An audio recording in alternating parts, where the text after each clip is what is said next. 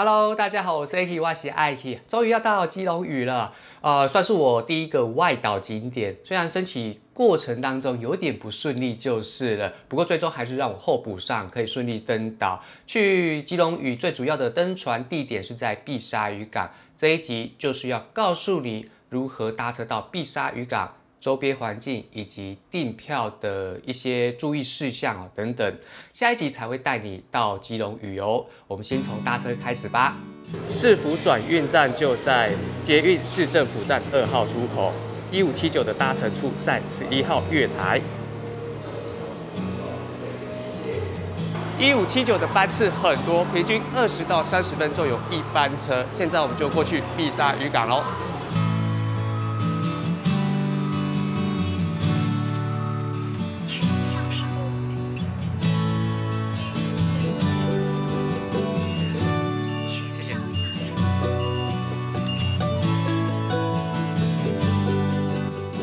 我已经到渔货直销中心，就是碧沙渔港，车程约五十分钟，车资六十元。下车之后，我们往回走，前面就是碧沙渔港的大门。前面就是碧沙渔港的大门口，返回台北的站牌在那边。你要搭一五七九回台北，有一点要注意哦，它没有停靠市政府转运站，你可以在捷运忠孝敦化站下车。我们就走进碧沙渔港，看一下环境。这里也有停车场，计时一小时是三十元。走进来，你可以看到左边有一个很可爱的鱿鱼造型。从那边进去可以到他们的鱼市，还有餐厅。那我们就直接往前走到码头。这里就是碧沙渔港的码头，要去基隆屿都是在这边登船。不管你今天是跟哪一家业者订票。统一都在这边登船。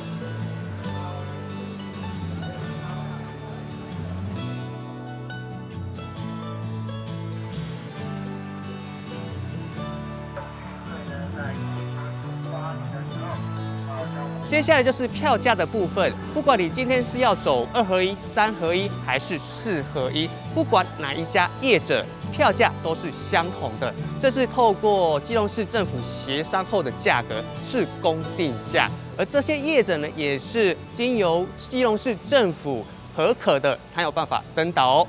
现在你对碧沙渔港是不是有点概念了？我们来聊一下我的订票经验以及注意事项。我是选择在假日出发的，然后呢，我是候补上去了，因为假日的票真的是太难订了。如果你本身是上班族，那又休休周末的话，你现在就赶快订票，两个月后你就可以顺利登岛了。啊，我通常都是平日出发的啦。那这次因为是有朋友要一起去啊，他也是上班族，他也只有休六日。那我就想说，好吧，那我就提早两个礼拜至一个月之前。我就赶快去上网预约，结果我在预约系统中发现啊，啊，没想到近期一两个月的假日通通额满，你没有听错，通通额满，那怎么办呢？好，那我就去基隆市政府找一下所有的业者的清单，我一家一家慢慢打，那得到的答案就是说啊，额满喽，不行哦，呃，已经没办法上去了。啊，不然就是说啊，你要假日去哦，那你可能要提早两个月就要预约喽。啊，假日不呀啦，哎，都是这类的答案。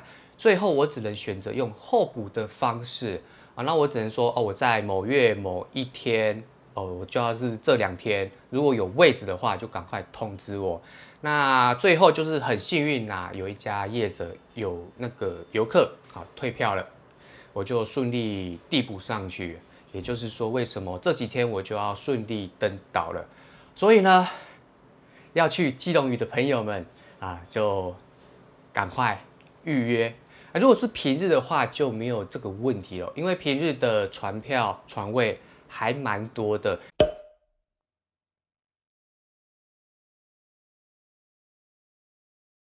基隆屿每日限额一千两百名，采取网络实名。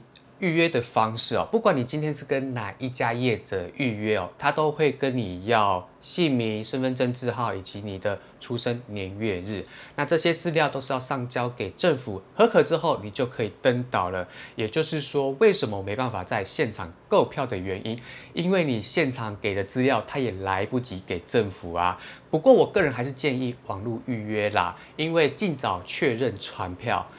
你比较安心啊，不要像我每天都在等电话，候补候补候补，很累的。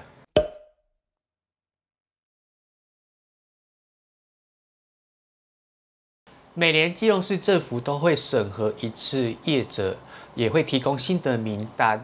基本上变动都不会太大。那目前都有三个搭乘地点。那第一个就是我们耳熟能详的碧沙渔港。那第二个呢，大家也都会在这边搭乘，那就是小艇码头，它就在海洋广场附近，就是基隆火车站。而最后一个就比较少人知道，在和平岛的八尺门渔港啊，不管你是在哪一个渔港出发，总而言之呢，都是要跟业者先报名，申请过了合可，才有办法登岛。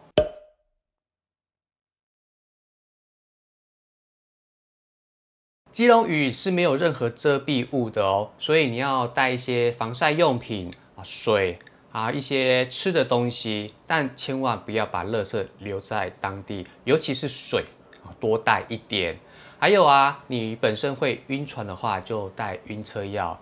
呃，其实还好啦，反正晕车就吐在海上嘛。啊，没有了，开玩笑的，不要乱来。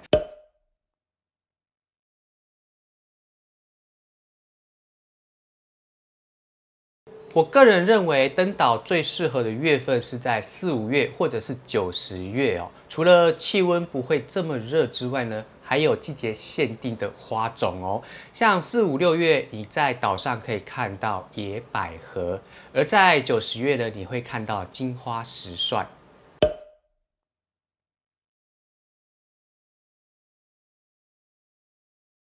每一家业者的行程出发时间点都不同，你可以在网络预约系统去做查询，有的就很早，早上八点就出发的。像我是选择三合一的行程，早上十点出发，预计下午一点半回到碧沙渔港。我会把网络预约系统附在说明栏，你有兴趣的话，你可以点进去查询。很希望登岛的就尽快预约，当然啦，平日的名额越多。好，假日的名额就越少，这是不变的道理。好，希望这集就有帮助到你们，我们基隆雨见喽，拜拜。